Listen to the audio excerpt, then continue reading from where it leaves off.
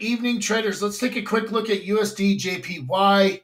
Uh, this bullish move jumped out of our uh, we, this used to be our bearish zone. Now I've moved it to our bullish zone today in my midweek review on my YouTube channel. So I'm starting to see some bearish candles. Uh, I think price I'm gonna watch for price to come back down, hit this 618 and confirm this former resistance as new support and we will be jumping into a buy trade. Uh, that's where I'm going to be looking to buy guys, and I think we have a lot of upside on this trade. Um, so this is what I'll be watching. This is what I'll be telling people my Telegram channel to be watching.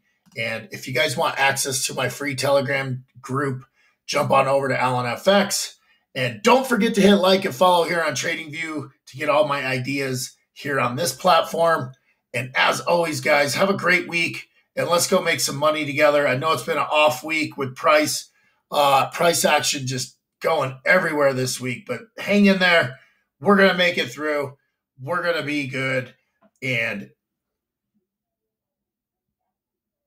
that's all I got. All right, guys, have a great week and let's go make some money together.